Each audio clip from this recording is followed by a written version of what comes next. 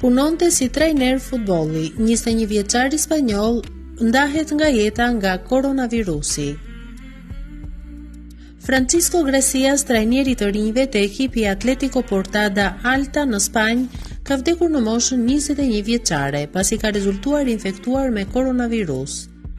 Prej tre vitesh ai punonte si trajner te ekipi modest spanjoll duke stërvitur futbollistët e rinj.